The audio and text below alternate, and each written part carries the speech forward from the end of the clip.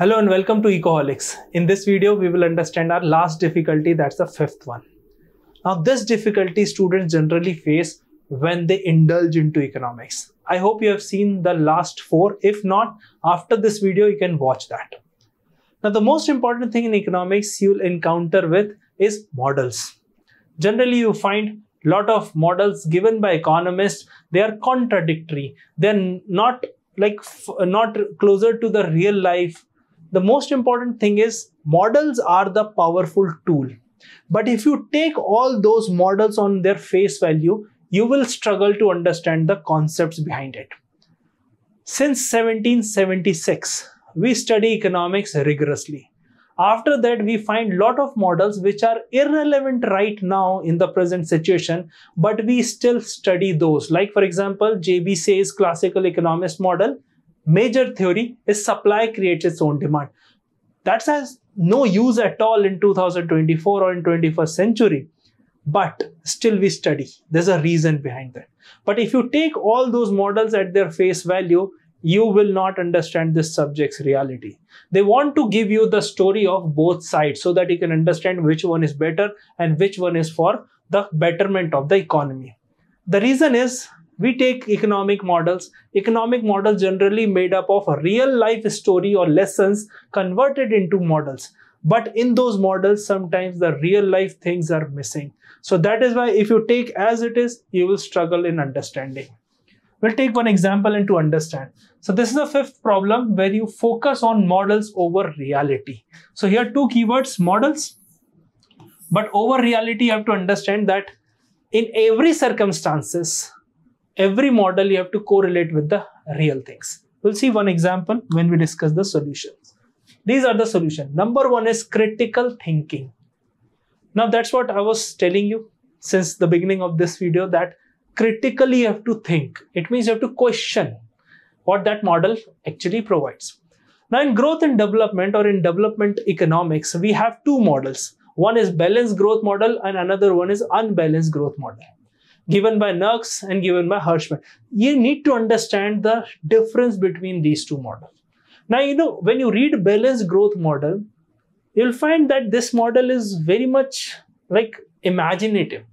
We can't implement balanced growth model given by Nurkse in the real life because we have limited resources. If we focus everything on like almost on a similar type, suppose for example, we take primary sector, we take secondary sector and tertiary sector and we allot all three sectors equal amount of money in the budget.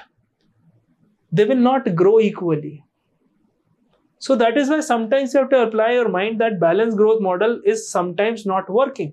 But still in your textbook it is mentioned. People study. Then you study unbalanced growth model. Then you realize that growth cannot be balanced. After India got independence, the major focus was on providing food security.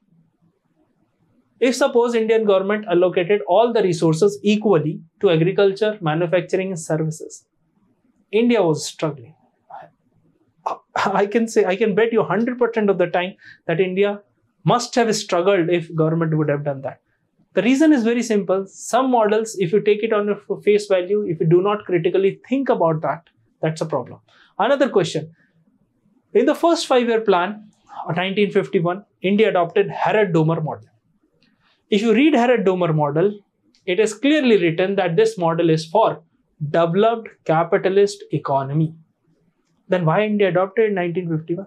I made a full video on that Harrod-Domar model. You can watch that. Link I will give you in the description.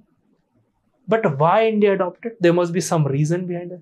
So if suppose our policymaker would have read that it is for capitalist developed economy, they would have not even looked at once. So the reason is very simple. If you take it on as it is, you will struggle. So you have to question, you have to critically think. Next is current events. When you see any economics related model and you do not connect with the current related things. World economy, global economy faced 1929 Great Depression. Then they faced another crisis in 2008, that is global financial crisis. In the global financial crisis, almost similar thing happened, but on a different platform in a different sector. So it means it is very, very vital to study any event. If you see Asian financial crisis, if you see India's balance of payment crisis in 1990, if you do not connect those events with the current related aspects, you will be able to understand those models. Because what are models? They are based on real life incidents. So if you do not correlate, you will struggle in understanding these uh, event or models. Last is focus on underlying principles. Now every model has certain kind of principles. Now according to you, if you see that classical economics must be removed from the textbook, but this should not be the case because if you don't understand classical economics, then you won't be able to understand the Keynesian economics. And that is where, so underlying concept is very, very vital so that world should not repeat the same mistake economists should not repeat the same mistake and that is where you understand the underlying principles. Like Harrod-Domar model is depending on the capital output ratio.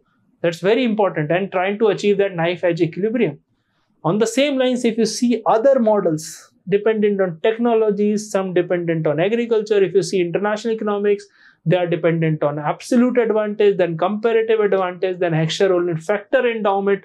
So there are several, several development. So you have to understand the underlying principle. If you see international economics, started with, if you see the theory, started with mercantilism. What mercantilism said? That promote export, restrict imports. If you see the recent news given by United Kingdom, what they are saying that you come to UK you study in UK and then go. Don't look for job in UK. Can you correlate with mercantilism? It means you come, you give economy the fees that you're submitting to our education institution, you take education and then don't eat up the employment of people living in United Kingdom. Again, if you see uh, the way from 2016 US election, Donald Trump and all, you see protectionist wave people are talking about Atmanirbhar Bharat. Countries are thinking about becoming independent in terms of resource, in terms of trade. The reason is simple. If you don't correlate, so you start understanding international economics. Number one is mercantilism. What they said, promote export, restrict import. It means the money should come in, but money should not go out. Then Adam Smith came and told the world that if you trade both will gain. So you are expert in one thing, other person is expert in another thing. They both should collaborate and both will gain. This is collaboration. Then Ricardo came. Okay, even if you're not expert in one thing, still you can trade because you're producing better than or efficiently than other.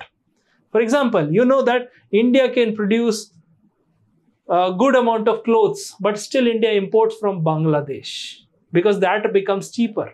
So that's comparative advantage. Although India is good in food as well as clothing in comparison to Bangladesh, but still we trade. That's comparative advantage given by Ricardo. Then Haberler came with the opportunity cost theory. He said that opportunity cost is important.